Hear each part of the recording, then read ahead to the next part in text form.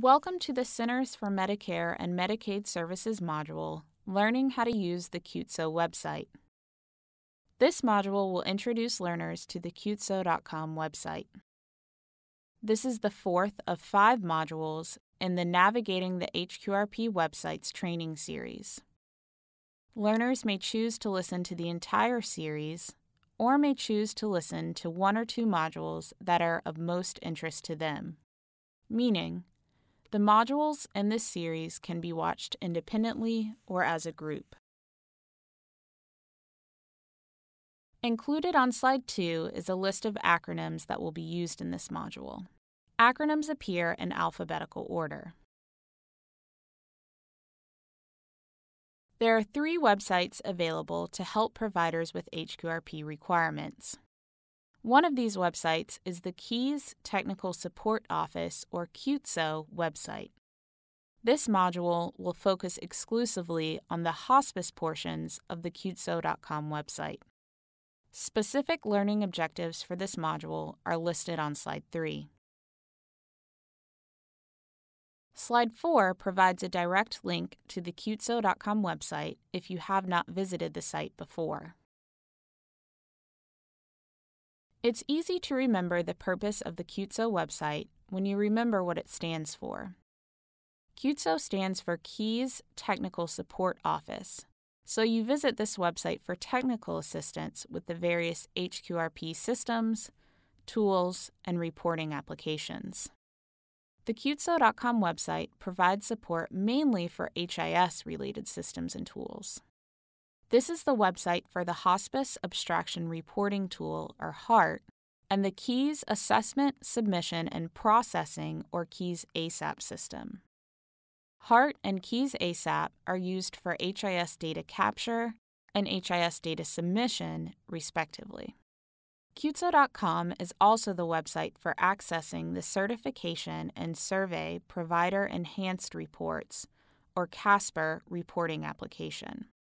CASPER is where you access all HIS related reports, including those listed on slide 5. You also use Casper to access the public reporting preview reports for both HIS and hospice CAHPS. Before we dive into the details, there are a few things to keep in mind about the QTSO website. First, this website will contain information pertinent to QIES ASAP, HART, and CASPER. For general HQRP information, or information about completing HIS items, visit the CMS HQRP website, which is covered in Module 2 of this series. Second, the QTSO website largely contains information about HIS and HIS data submission. The CAHPS preview reports are the only CAHPS related content found on the QTSO website. Finally, the QTSO.com site has information for many provider types, not just hospice. Because of that, there are only a few pages or tabs on the QTSO website that will be relevant to hospice providers. And that's what we'll be covering in this module today. Specifically, this module will focus on the four main tabs that are pertinent to hospice providers the Home page, which you are looking at now, the HART tab, the Hospice tab, and the Providers tab. The location of each of these tabs is highlighted in the red boxes here on slide 7. Let's begin with the home page. One of the most critical pieces of information on the QTSO homepage are the links for providers to request a CMSNet user ID and a QIES user ID. Both user IDs are needed to submit data in QIES ASAP, as well as to use the Casper reporting application. So if you're new to the HQRP, visit the QTSO homepage to get these necessary user IDs. Next, we have the HART tab. As some of you may know, HART is a free software that's available to all hospice providers. HART is used to convert HIS data into the proper electronic format so that it can be submitted to QIES ASAP. The HART tab contains links and instructions to download and install the HART software and provides user guides for navigating HART. When a new version of HART is available, it will be announced here. Thus, you should regularly check this page to ensure you are always working with the latest version of HART. Next, we have the Hospice tab. This tab provides information, updates, and resources for hospice providers specifically. Within the Hospice tab, there are three important links that will direct you to subtabs. First, there is the Hospice Information subtab that appears near the top of the page in the light blue banner. Second is the Hospice User Guides and Training subtab, which also appears near the top of the page in the light blue banner. Finally, there is the QTSO eUniversity Hospice Training Module subtab, which appears right underneath the light blue banner. We'll go over each of these three subtabs in more detail now. The Hospice Information subtab includes announcements and updates relevant to hospice data submission and CASPER reports. Think of the Hospice Information subtab as your newsreel for all QTSO.com content relevant to hospice providers. Because this subtab provides important, time sensitive announcements, it's a page you may want to bookmark and visit often. The Hospice User Guides and Training link is where you'll find the two user guides that are pertinent to hospice providers. The two user guides available here are the QIES ASAP Hospice Submission Users Guide and the Casper Reporting Users Guide. The Hospice Submission Users Guide provides information on the QIES ASAP system, which is the system you use to submit HIS data. This user guide will provide important information on how to log on to the system, submit your data, and helpful information on what to do if your submission is not accepted by QIES ASAP due to errors.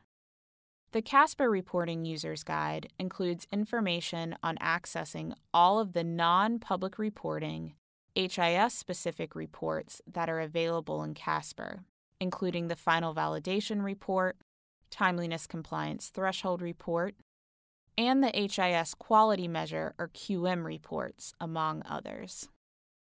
It is important to note that although the HIS and CAHPS preview reports are accessed through CASPER, directions on how to access them are not included in the CASPER User's Guide.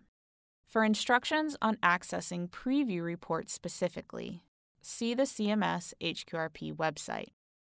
Note that you cannot download an entire user's guide at once. You must select which chapter of the guide you would like to view. The last subtab we'd like to feature within the Hospice tab is the QTSO eUniversity Hospice Training Modules tab. When you click on this link, you'll get a pop up, as shown on slide 13.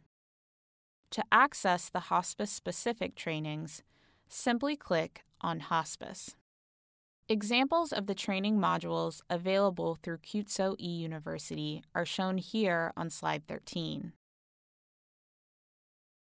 Finally, we have the Providers tab.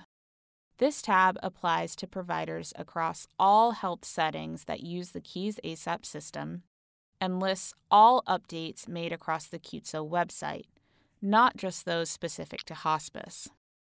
Although it's not hospice specific, it's still important to regularly check this page for updates about QIES ASAP downtime, which we'll cover next. As I just mentioned, the Providers tab is important because it's where announcements about QIES scheduled downtime are listed.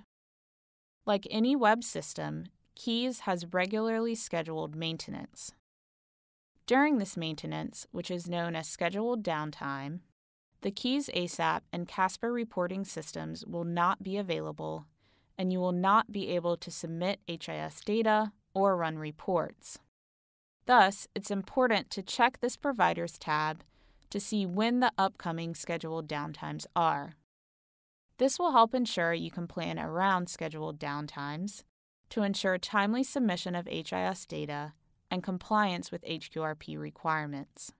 The scheduled downtime is easy to locate because, as shown in the red oval on slide 15, it appears as a fixed header and will always be displayed at the top of this web page.